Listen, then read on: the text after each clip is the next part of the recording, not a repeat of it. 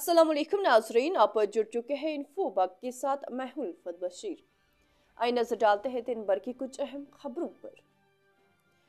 BJP के कौमी general secretary तरन चुग ने मरकजी बजट को जम्मू कश्मीर यूटी की तरक्की के लिए एक तारीखी कदम करार दिया। कहा जम्मू कश्मीर की मसावी तरक्की होनी चाहिए, जिसके लिए इस बार यूनियन के बजट में सालाना मुख्त रकम में आठ सौ छिहत्तर अठानवे करोड़ रुपए का इजाफा किया गया।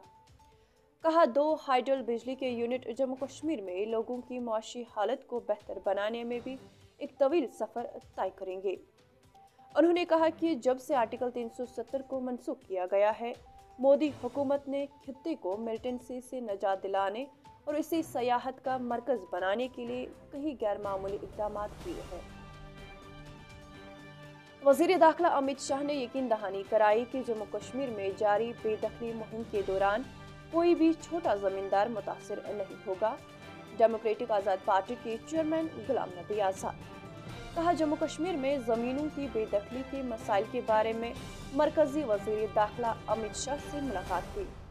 उन्होंने कहा कि आम लोगों में मौजूदा बदअमनी और गैर यकीनी सूरत हाल के बारे में वज़ीर दाखिला को आगाह किया। नरवाल धमाका केस में सरकारी मुलाजम गिरफ़्तार। ड्रोन से गिराया गया परफ्यूम आईजी बरामद। डीजीपी दिलबाग सिंह।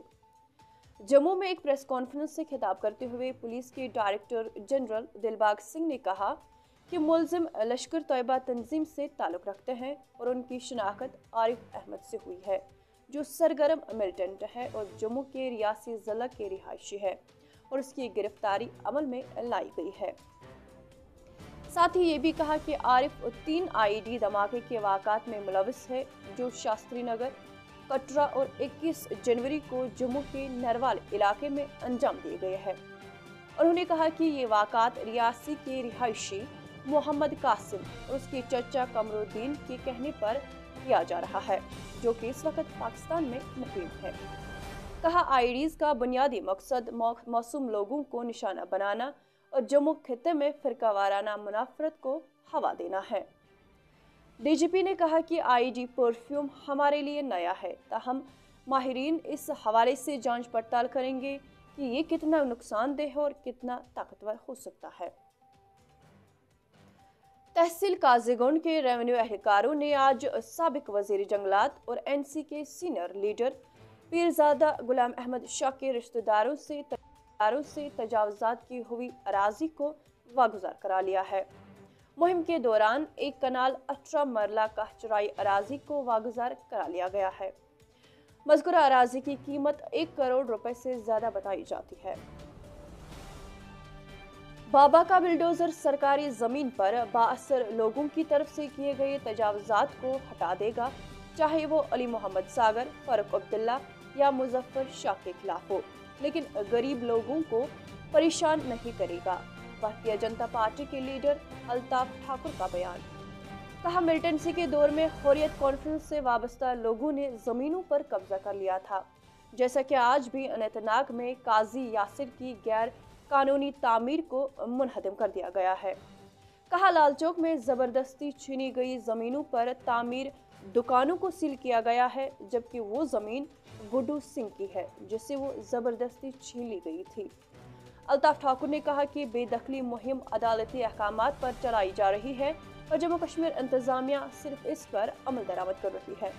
ताहम तीस साल की मिलिटेंसी के दौरान बासर लोगों ने सरकारी जमीनों पर कब्जा कर लिया है, जिसमें नेशनल कॉन्फ्रेंस और पीडीपी के लोग शामिल हैं। साथ ही पीडीपी की सदर महबूबा मुफ्ती पर भी तनकीद की और कहा कि वो हमेशा फौज के खिलाफ बोलती रहती है, क्योंकि उसने चीन से अपनी उम्मीदें वाबस्ता रखी है। जम्मू कश्मीर नेशनल कॉन्फ्रेंस ने मरकजी, खासकर जम्मू कश्मीर के लिए पेश किए गए बजट को गैर तसल्ली बख्श और मायूस कन करार दिया है और जम्मू कश्मीर के लिए फंड्स की अलॉटमेंट को नाकाफी करार दिया है। उन्होंने कहा कि 5 अगस्त 2019 के मरकज के गैर संजीदा और गैर दानिशमंदाना फैसलों और कोरोना लॉकडाउन की वजह से मुसलसल बेचैनी और गैर यकीनत फैल चुकी है। कहा, यहाँ का हर एक शोबा जवाल पजीर है। वहीं उम्मीद की जा रही थी कि सालाना बजट में जम्मू कश्मीर के कलीदी शोबों को फरोग देने के लिए किसी पैकेज का ऐलान किया जाएगा। और साथ ही बेरोजगारी के ऊपर काबू पाने और तामीर तरक्की के लिए बजट में कुछ खास होगा, लेकिन ऐसा कुछ नहीं हुआ है। इलेक्शन कमीशन ऑफ़ इंडिया ने सूबाई commissioner Kashmir P K Pole की chief electoral officer Jammu Kashmir के तौर पर तकर्री को मंजूरी दे दी है।